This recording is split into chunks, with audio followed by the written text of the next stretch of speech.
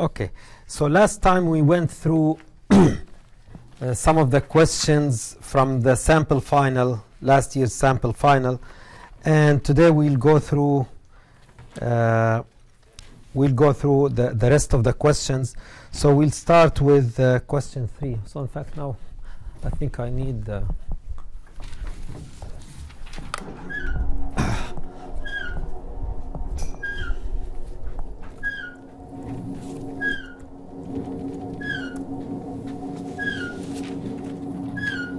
uh,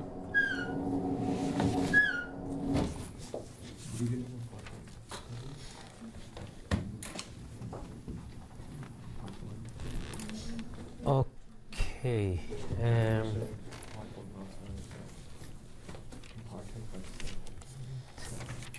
Things they write on the board. Is that- Things they write on the board. It's-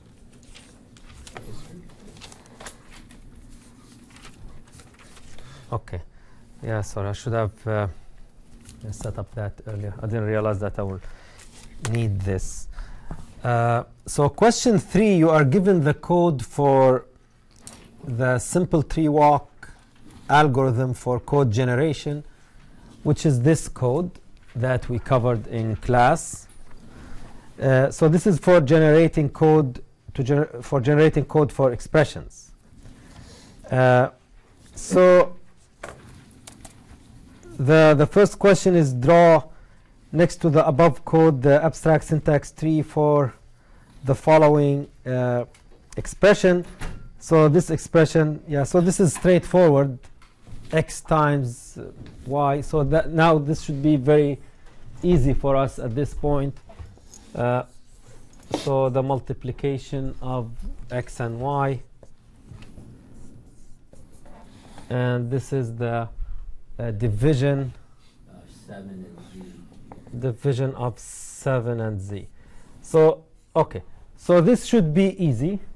Uh, but write the iloc code that the above code generator will generate if the input to the above algorithm is the abstract syntax tree uh, that you drew in, in part A. So, okay, so let me rewrite it here. Um, divide and x. Yeah so we can see x and y and 7 and z. So that we can write the code here. Okay so what's the iloc code that will get generated? So in this case uh, using this code so this is the dfs algorithm that we described in class and the registers for the uh, the register for the result is computed after the expressions. So in this case, the registers are going to be, uh, you know, this is going to be in R1, and this is going to be in R2, and this is going to be in R3, and this is going to be in R4, R5, R6, and R7. So first there will be a load. I'm not going to write the complete syntax, so it's load x into R1, load y into R2, and then multiply R1 and R2 and put the result in R3. Then load immediate 7 into R4 and load z into R5 and then divide R4 and R5 and put the result in R6 and finally what's the last instruction? Add. Add R1 R3 and R6 and put the result in R7 okay so now the question so this so far this is very straightforward. Uh, the question that requires a little bit of thinking is if we reverse the order of lines 4, 5, and 6 in the above code uh, without changing the text of the statements, uh, will that affect the generated iloc? Uh, you know, if no, explain why. If yes, write the code after that uh, change. Uh, okay, so which one? Uh, I think these the four, five, and six. Yeah, so. Yeah. So if we if we do six, then five, then four, what will happen? Well, it, the, the order of the registers will be reversed, for one. And two, Mhm. it'll go down, it'll go down the, uh, right tree first. Yeah. So exactly. So two two things will change. First, it will go to the right before the left. If we reverse these, it will go to the right before the left. Then the other change is that it will number the result. It will give, you know, this is finding a register for the result will, will happen before finding the register for the uh, the operands. So it will do. So let's erase these. So in this case, uh, this is going to be R1. Then it will go right. This is R2. Then it will go right. This is going to be R3. This is R4. Then it will go to this branch. It will do R5. Then this is R6. This is R7.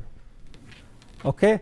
So what uh, what will happen? In in fact, the code is going to be uh, no, it will not be the same. So it will generate uh, code for the right before generating code for the left. So it will do uh, yeah. So it uh, so it will do load. The first thing that will happen is loading z. Or let's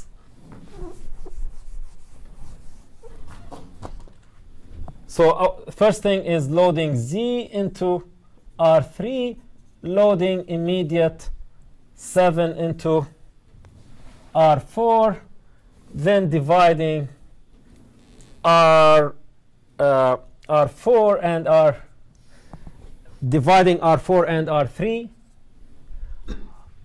Okay, because the emit will still uh, uh, the, the emit instruction will still take the um, the left hand side before the the right hand side so it's uh, uh, oh in fact we are uh, switching them so it's uh, we are doing we are generating t2 first yeah but t2 will still be the second one so the the, the instruction will not uh, change. So even though we are generating this operand, we are loading this, we are loading the right operand before loading the left operand, but the divide instruction will still have the, uh, you know, the first operand, so it will have the 7 uh, before the, the z. So in this case, uh, you know, the 7 will be t1, and this is t2. Okay? So, uh, and so this will divide R4 and R3, and it will put the result in R2. And for the other branch, uh, same thing will happen. So we will load Y into R6, and then we will load X into R7, and then we will multiply R7 by R6, and we will put the result in R5 and finally we will add R5 and R2 and we will put the result in R1 okay? So this is a question you know that requires a little bit of thinking but it also requires that you fully understand how this works how this traversal works. Yes? Can you explain why, when you're dividing or doing any arithmetic, you're doing uh, left and right instead of right and left?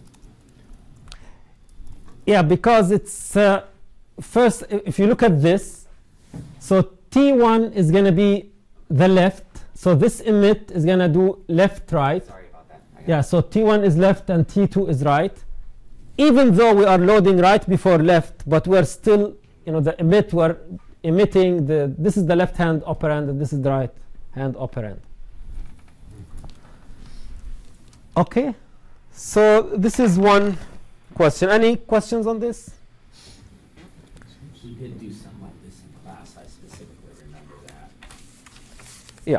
Uh, okay, so now this question uh, on uh, code generation. And this is, uh, you know, if you did the assignment, if you did assignment 5, this should be a piece of cake for you. Uh,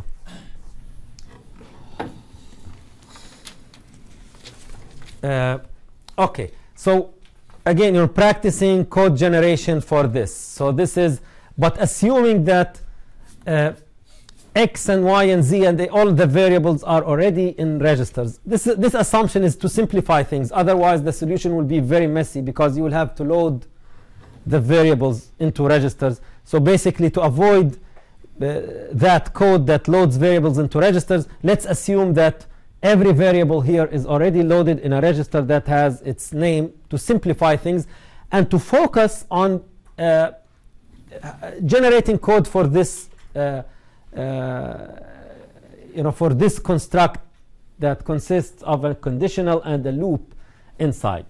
So first of all you know we will uh, add uh, x and so it, there will be code for adding um, rx RY. and ry and we put the result into rz then we will have an if statement and an if statement is a compare right so we compare Greater than.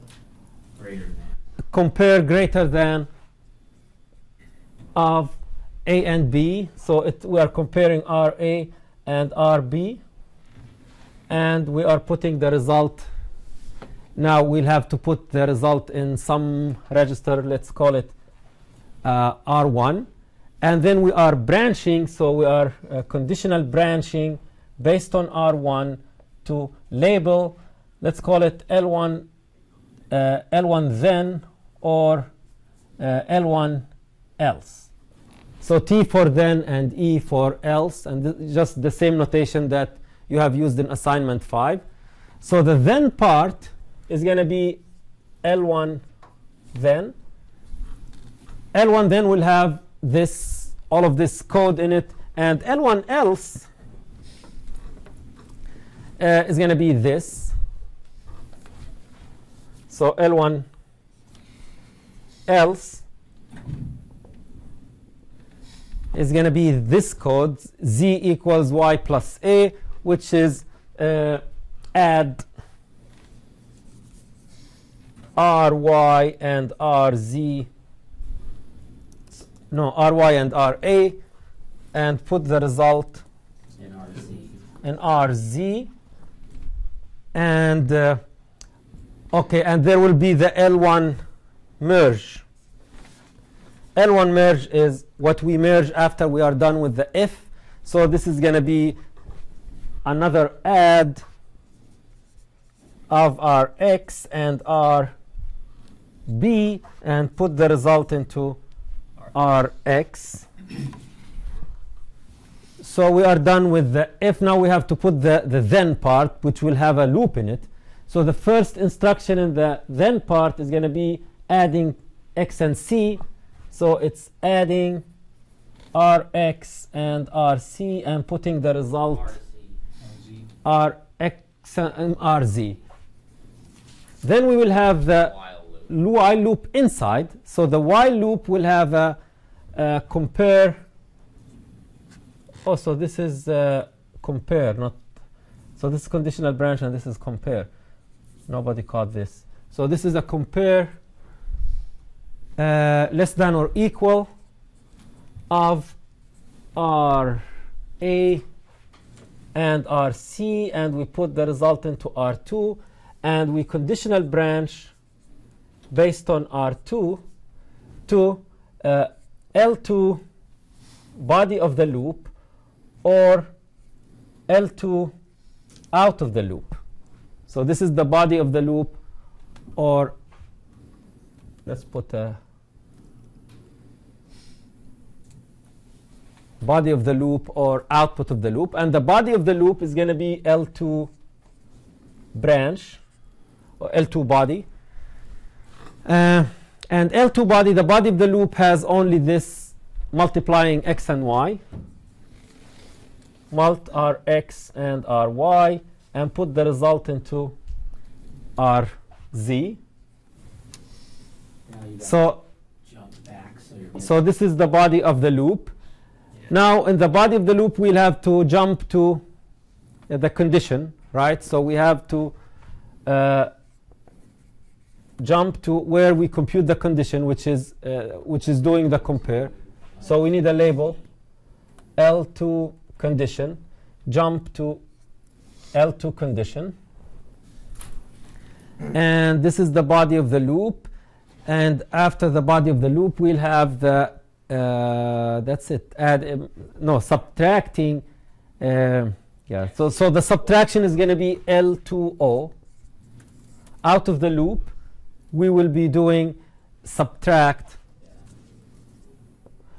of uh, ry and rz and and we'll put the result into rx. So this is outside the, the loop. So this basically we have the loop. So what is missing is the jump for the if. So uh, this is the loop. So this is all the code for the for the loop. Uh, then we have no. In fact, the out is outside the loop. And so we have this out. Now what is missing? The else. No, You have to jump, You skip the jump. Yeah, else. you jump. Yeah, exactly. So we need to jump Past the else. past the else. So we jumped into L1 merge if we are doing the then part. L1 merge. Okay. So, you know, if you worked on assignment 5, then, you know, this is basically the, uh, you know, the, the, the what you were doing during an assignment 5. So, this is basically what you were doing, and you should be familiar and you should have. Uh, yeah. well, what, what if we get some of the label types wrong, like, like we put L1 say L1 and we put like L1X or something like that. Yeah, well, as long as they are correct, so there is not wrong. So there is we have to distinguish between wrong labels and labels that follow a different naming convention. Yeah. So you can, if you know, if you have uh, correct labels, you know, if they are logically correct but they follow a different convention, like you just number them L1, L2, L3, L4. Uh, how many of them? We have six of them, so you number them L1 through L6. A different numbering scheme is not a mistake. Okay. So it will just make my life harder when I grade it. okay? But uh, it will be, as long as it's correct, you should get full credit for it. Okay. Uh, unless the question specifically says that you, you should, uh, if the question says that you should use this convention, naming convention, I should keep my mouth shut. yeah. well, and even in the assignment, you know, in the assignment, if you did the labels right, Yeah. but using a different convention, uh, you will only lose a few points. You will not, uh, you will not get a zero because you used a different naming convention for the labels, right? It's uh, the problem statement says yeah, that you have to use this naming convention. It's described in the problem statement, so you will not get full credit if you do a different convention.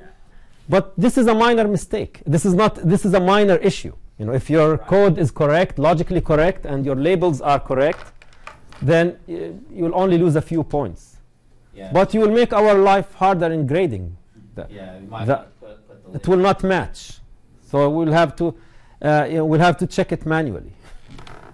It will not match our, um, you know, our reference output, and then it will take more time to to grade. So I hope that everyone uh, used the the same naming convention. The purpose of the naming convention is to standardize things and to get everyone to generate the the same output. Okay, questions? Yeah, so there will definitely be a question like this because this is, uh, you know, tests you on assignment, on the major assignment for the uh, for this course.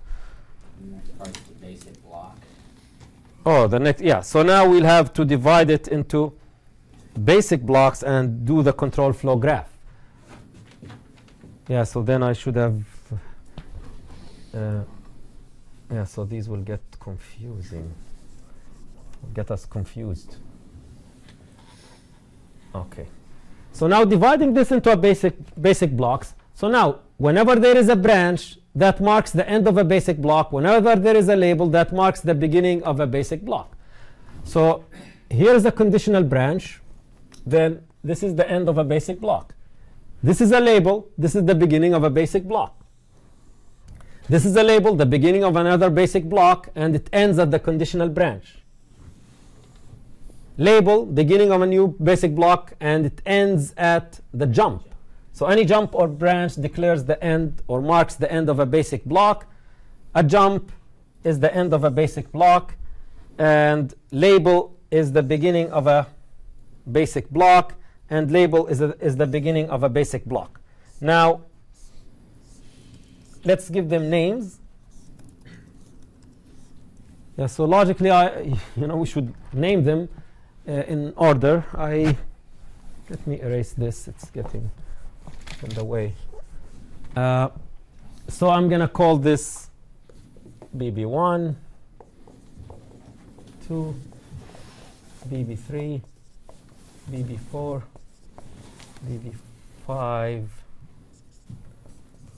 BB6, and BB7. Now the control flow graph. So here's BB1. Where does BB1 go? So it conditional branches to either uh, L1T, so it goes to BB2, or it goes to L1E, which is BB6.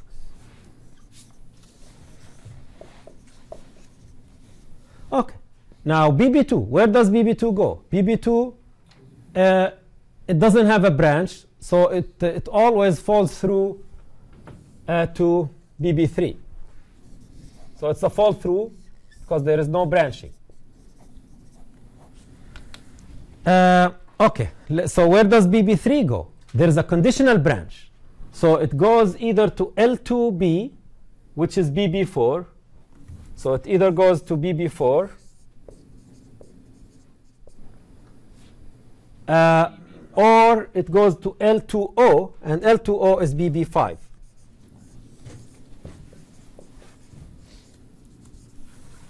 Now, where does BB4 go? It, uh, it always jumps to uh, L2C, and L2C is BB3. Okay, L2C is BB3, so BB5 jumps to uh, BB3. Uh, it's BB four. L, it jumps to L2C. Yeah, yeah, you put BB five, it's BB four that jumps, uh, Yeah. jumps back. BB five jumps to, uh. Okay, yeah. So BB4 jumps to BB3, L2C, which is BB3. So this is the loop. We should have a loop. Now BB5, it jumps to L1M, and L1M is BB7. So we'll put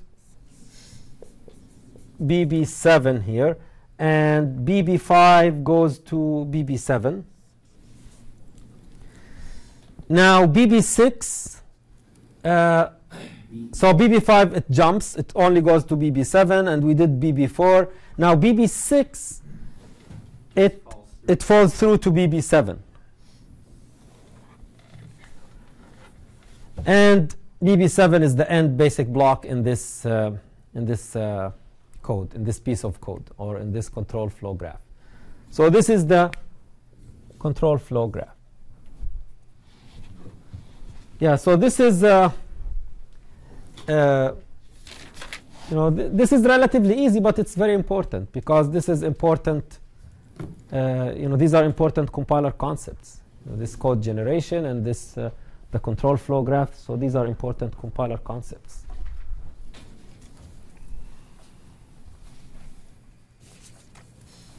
Oh, I'm sorry. I'm yeah losing the. I didn't bring my charger. So let's do the the question. Yeah. So there is a question. Yeah, let's do. Yeah. So there is a question on local register allocation. Uh, this question on local register allocation is uh, is on the local register allocation algorithm that we have studied. Uh, so you know, usually uh, you know I never you know whether it's in the compiler class or in the algorithms class, You know, I never ask you to just you know write the pseudocode for an algorithm. Usually, I give you the code, but I ask you questions about it, and sometimes I ask you to modify it, to modify the given code, uh, to make certain changes. So here, let's do a, a question on tracing this. So this is the local register allocation algorithm.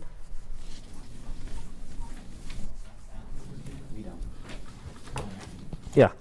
Oh, uh, yeah, I did not distribute this, so I will, I will post it. So this is the algorithm, and we would like to trace it on this code. So the code is this. So we have these loads. So now, in this algorithm, so let's apply the algorithm to this. What will be the, the first instruction? Load. Loading A into P1, right? So assuming, I think, two physical registers. Uh, is it two? Yeah. Two physical registers. Okay. So load. Oh, sorry. the- yeah, let's go through it one by one. So load A into P1, then load B into P2. Now, after that, we'll have to store one of them uh, to store because we will need to load for C. So we'll have to store the one that will get used uh, the farthest in the future. The one that will get used farthest in the future is it R1 or R2? Sorry, too. R2. Yeah, so this is R1 and this. So R2 will get used farther in the future. So we will spill R2 here. So we'll store P2 into uh, the location for B. Then we load C. But then, then we load C. But in order to find a, a register for D, again we will have to spill again. So we will have to load either uh, R3 or R1. And again, R3 is used after R1. So R1 is used uh, the, the, the, it's the used closer in the future. So this is farther in the future. So again, we will spill uh, R3. So here we are storing uh, P2 into the, the location of, R, of C. Then we load D. Then we add P1 and P2. So this is the add, adding P1 and P2. And we put the result in, in P1 now because after this, R1 and R4 will not be used. So this is the end of the live ranges for R1 and R4. They are not used below this point. So we, we assign P1 to R5. And then we will have to find a register for uh, the operands of R2 and R3. And the operands for R2, so we'll, for R2 we will get, uh, we are using now P1 for the result. So for R2 we will get uh, P2. So B will get loaded into P2. Uh, so, oh, sorry. Uh, yeah, so this is my fault. Um, uh, yeah. So okay. So it's uh, yeah. So we lose the uh, you know unless someone has a does anyone has a cable have a cable for this? Yeah, it's my fault. I don't know why it, uh, I did not charge it between the lectures. Uh, but uh, anyway, so we we this is the result P1 uh, for the add. The result of the add is get loaded into P1. Then we load P2 into uh, B into register P2. Uh, but then we will have to uh, we'll have to uh, spill one of them because we need the second operand for the multiply. Because we need the second operand for the multiply, so we'll have to spill the result of the add, which is R5, which is in P1. So we spill P1 because so that we can load the other operand for the multiply. And then we will have the operands of the multiply in P1 and P2. Uh, and then we will have to load uh, we'll have to find the register for the operand of the divide, uh, the other operand of the divide because R6 is already in a register. And we do the divide, then we, and we put the result in P1. So this is a tracing question on this uh, local register allocation algorithm. So this is, uh, uh, you know, make sure that you cover uh, you cover this uh, this algorithm and that you will be able to trace to trace it and uh, possibly, you know, I may ask you about the the code itself. I may ask you to make certain changes to the code or um, you know, I may put print statements into this code and I ask you to, uh, to, to give the output of the program with these print statements. So we have studied basically three algorithms for uh, register allocation and instruction scheduling algorithms. We, we, are, we ran out of uh, power. So we studied two register allocation algorithms, the local and the global, and we studied one instruction scheduling algorithm. And these algorithms were studied in detail. detail. So make sure that you, uh, you, know, you understand them thoroughly. You understand these three algorithms thoroughly. So there will be uh, questions in the final. At least there will be two questions. You know, there will be questions on two of them. I haven't decided yet because I haven't, uh, I haven't written the test yet. But there will be at least you know, questions on at least two of them. Uh, because this is the main material uh, that we did after the, the midterm and after doing the abstract syntax tree stuff. Okay, so we did the questions three and four. Uh, luckily, we did global register allocation last time. So I'm not going to do an LR1 parsing question because you will find four examples in the recorded lectures. So in the recorded lectures, there will be four examples on LR1. We did you know, two examples when we introduced the topic. Then we did an example from the homework, from homework 3. Then we did the example the, from the, uh, the midterm. So there will be, you will find four examples on LR1 uh, parsing in the, uh, in the recorded lectures. So make sure that you, uh, you, know, you prepare well for LR1 parsing, LL1 parsing, and first and follow sets you know, definitely I will ask you about first and follow sets uh, to make sure that now everyone understands them correctly. Uh, and there will be another parsing question, but I don't know yet if it's going to be LL1 or LR1. So study both. So be prepared for both LR1 and LL1. What about Yeah. left, what about left recursion elimination? Is that fair game on the exam too? Yeah, because it's part of LL1. So LL1 doesn't work without left recursion elimination. So this is an important part of L LL1. Uh, I will be posting some of these sample questions. Uh, so I have here some uh, conceptual questions. I will post these. So conceptual questions, uh, and I think th- uh, you know most likely I will have a conceptual, a short conceptual question question. Uh, which could be multiple choice. So let's go through some samples of conceptual questions. Uh, briefly describe in, the, in at most two lines what each of the following compiler terms of or optimizations means. Uh, LL1 parsing. So what does LL1 parsing mean? Right to left, top to bottom. It's Well, the no, recursive descent. no. LL1 is not right to left. Right Otherwise- To right. Yeah, Sorry. yeah. It's leftmost recursive, right? Okay, but well, th th there is L and L and 1. So you have to, to specify what the first L means and what the second L means and what the 1 means. Yeah. Okay, so it's it's left recursive. That's the first L. The second L is it's read left to right, and the one is that there's one look ahead. Okay, but I think the first L is the one that means scanning the input from left to right. Okay. Because in, in LR1 parsing, we also scan from left to right. So they both start with L. So the first L is the, uh, yeah, the, the order for scanning the input. We scan the input from left to right. The second L is we do leftmost derivation. And the, the one means one symbol of look ahead. Okay. Uh, the subset construction. What's the subset construction?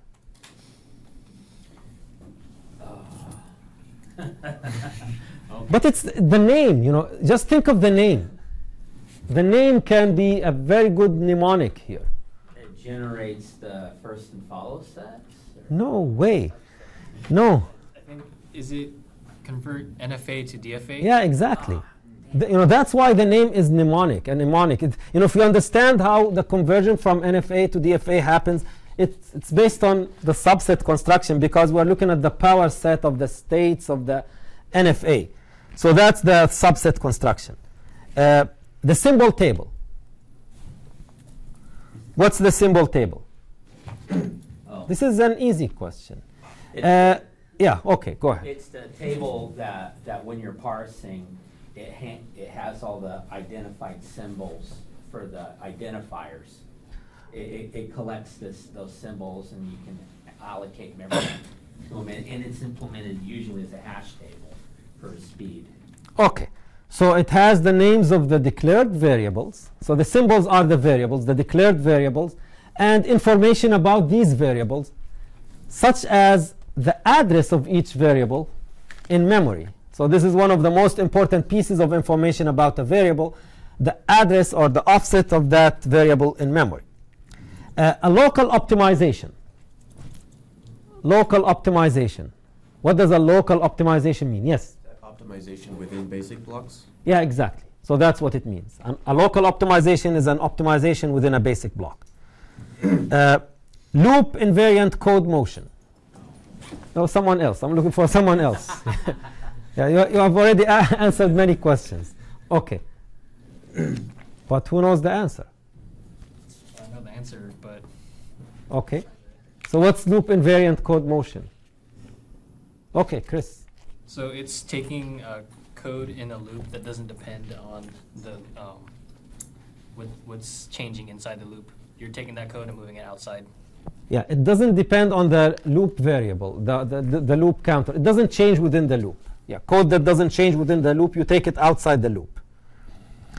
Uh, okay, briefly explain the impact of pre-allocation or pre-pass instruction scheduling on register on the register allocation pass and on the program's execution time. So what's the impact of pre-allocation instruction scheduling on register allocation. What's the relation between the two?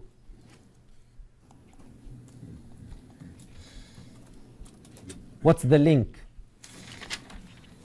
Okay, I don't have very many options. Okay, go ahead.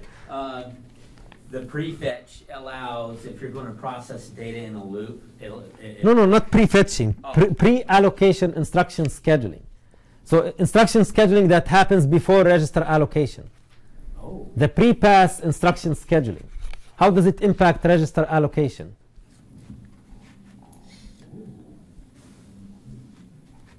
Yeah. So what's the link between the two? It's one term.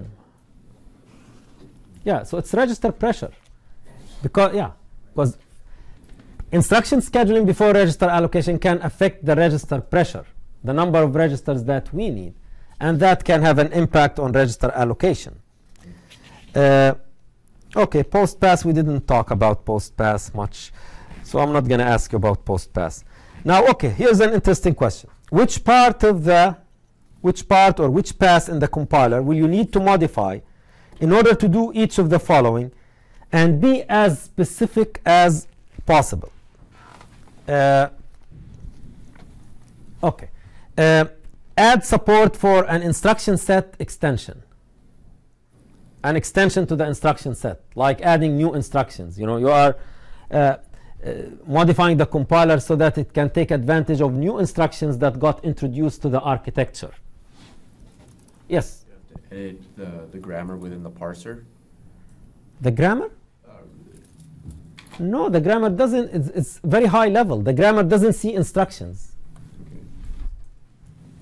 It's you know we, we care about instructions in which what's the, the the most relevant pass here the most relevant pass in the compiler that cares about instructions and which instructions the target machine has The instruction selection.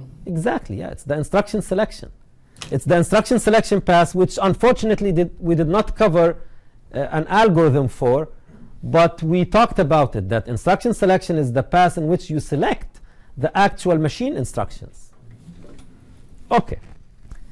Account accounting for changes in instruction latencies. So this is obvious. So which pass do we modify to account for latencies in instruction, to account for changes in, in instruction latencies? Which pass? Instruction scheduling. Instruction scheduling is the pass that in which we account for latencies. Setting a limit on the length of a variable name. Oh. Okay, someone else? Setting a limit on the length of a variable name. That's easy.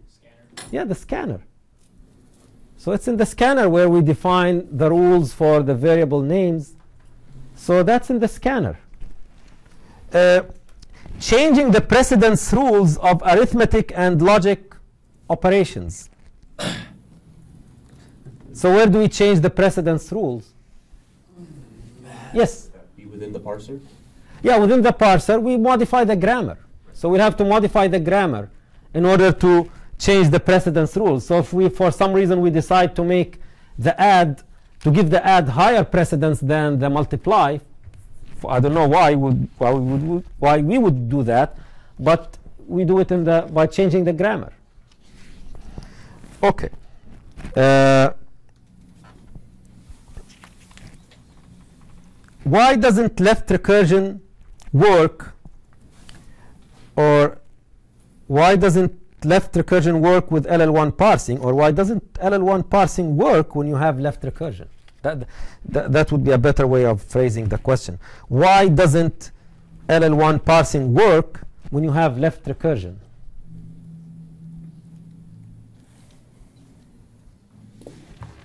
Uh, okay. I'll go out on a limb here. Uh, It has to do with the number of nodes created because it'll keep going, it'll just create the thing down on one tree all the way going down the left side of the tree. Okay. Uh, not clear. Can anyone clarify it better? Yes. They get stuck in a, a eternal recursion of just continually going left. Yes, in an infinite loop. Yeah, because if it if the parser does substitution systematically, if it systematically makes the same substitution at each level, it will get stuck in an infinite loop if there is left recursion in the grammar. Okay. Give an example of an LR1 parsing state with a shift reduce conflict and briefly explain the conflict that you have. So can anyone give an example of a state with a shift reduce conflict in it? Of course, you know, whenever you are asked for a- an example, think of a simple example. So all what we need is two productions. So I will help you. So one production, and these two productions should be for the same uh, yeah, two different productions for the same variable. How can we have a shift reduce error? So, or a shift reduce conflict. If we have, for example, AB, and then, or we could have AB, uh, C. Okay, Yeah. and, but what does this, the look ahead here have to be? Uh, the follow. C. The end of file. No, C, not end of file. If the look ahead is C, because now, if I am in this state and I am seeing C as my look ahead, C is the next symbol in the input, I have two options either to reduce by this or to shift by this. So here the look ahead does not matter. Does not matter what the look ahead for this is. Uh, so if you get something like this, here you have two options. I can reduce if the look ahead is C, and if the look ahead is C, I can shift. So this is the shift reduce error.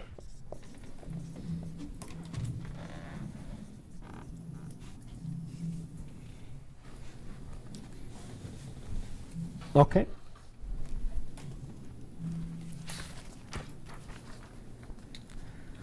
All right. So these are some, you know, conceptual questions. I will, uh, you know, there will be questions like this because I would like to cover you know, all the concepts to make sure that you understand all the compiler concepts and you can, uh, you know, link them together in your head. You, you, you, you, uh, you know, you know which part does what.